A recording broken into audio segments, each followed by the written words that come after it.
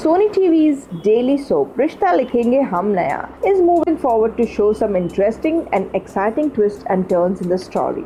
Here the viewers will get to see Diya's sneak peek hunt glued Abhay in a big trap. The fans and the viewers have seen how Ratan smartly collects the evidences against Abhay and Arpita, but his entire planning meets end as Abhay turns the table. However, now Ratan and Diya are left with no clue against Abhay and Arpita. That Mohana and Yash turn angel for their life and decide to help Ratan and Diya trap Abhay and Arpita. Thus, the duo will be seen collecting a strong evidence against Abhay and Arpita. Forward coming track will show that Mohana will emotionally blackmail Abhay and Arpita learning their reality while Diya will sneakily record everything. Let us see if Diya could tuck Abhay in a trap to catch all the thrilling updates of the TV town. Stay tuned to TV Prime Time.